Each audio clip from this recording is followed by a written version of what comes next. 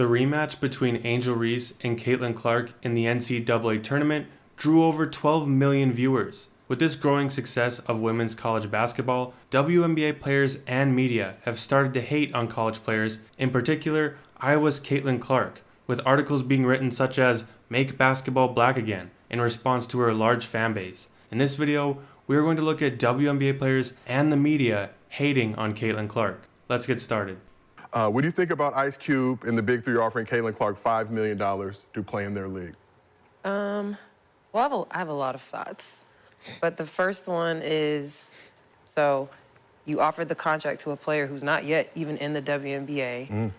Big Three does not happen during overseas season. So that, that doesn't make sense. That's true. And then um, for us to get like just constantly shit on, like you can't even acknowledge the growth and how amazing the WNBA is, is doing because shit like this happens. When, when you didn't even have over? to bring up the W.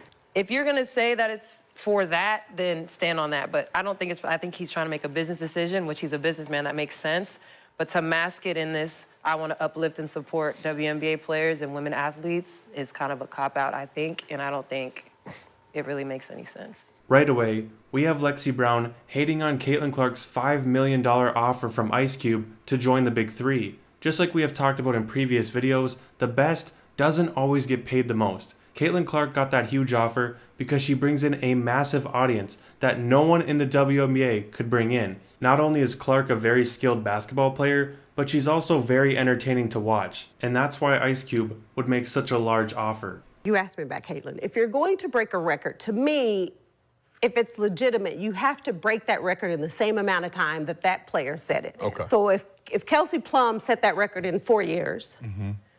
well, Caitlin should have broke that record in four years. But because there's a COVID year and then there's another year, you know what I mean? So she's already had an extra year to break that record. So is it truly a broken record? Yeah, that'll go in the record books as Caitlin Clark is the all-time, whatever it is. I don't even know what the number is, but that's the way it'll be. And, and I don't think it should be. Let's That's also crazy. talk about um, how much more experience that gives you over other players coming in, right? So people say, dang, like he or she's killing them. But you have a 25 year old playing against a 20 year old. Mm-hmm. Like, you, sh- you should be killing them. Yeah. Because you've been doing it a lot longer than they have. Clark right now probably takes about 40 shots a game mm-hmm. Here we go. I know you like that. Hell yeah. Sheryl Swoopes told three big lies in her statements about Caitlin Clark. The first is how many years she played college basketball, implying that she played five years because of COVID. In reality, she's played four, just like Kelsey Plum, and she even broke the record in less games. The second lie is how many shots a game Caitlin Clark takes, saying she takes 40 shots a game. Over the course of her career, Clark has only shot 19 shots a game, which is less than half of what Swoop said. And finally, Swoop said that Caitlin Clark is 25 years old, when in reality, she's only 22. Sheryl would then make a response after being called out for lying. I, am gonna say this, and then I wanna like be done with this whole conversation. So for people to come at me and say that I made those comments because I'm a racist, like first of all, black people can't be racist, but like that's the farthest thing from my mind. Like, I grew up in a very small West Texas town, predominantly white. My best childhood friend is white. So it's important for me that I speak up for people that look like me. Like, it's Black History Month. So, like, our ancestors fought and died for us to have opportunities that we have today. Um, I have like no issues with Caitlin. Her breaking the record, I think obviously is a tremendous accomplishment. Although, you know, we could get into that discussion also because there was a big debate on Lynette Woodard having yeah. the actual record. I'm not really sure what any of that had to do with her lying, and I like how she still insists that Caitlin Clark shouldn't have the record she legitimately broke. I know she hasn't played in the WNBA, but our last hater is Jemele Hill. During an interview, Jemele Hill made multiple claims against Clark, saying that the women's basketball audience would be growing with or without Clark, also mentioning that Clark is only getting so much attention because she's white. That the criticism is often very one sided. Caitlin Clark talks her Caitlin Clark is demonstrative.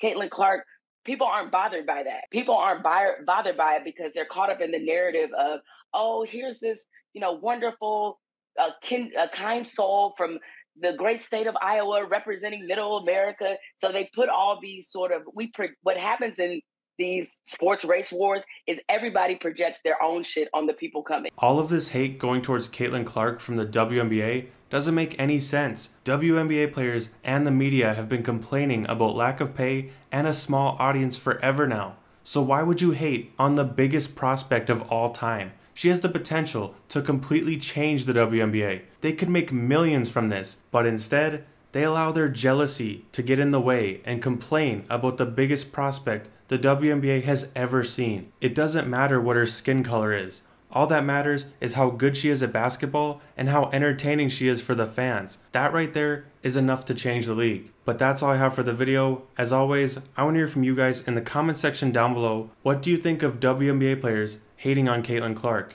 And don't forget to leave a like if you enjoyed this video, and I'll see you next time.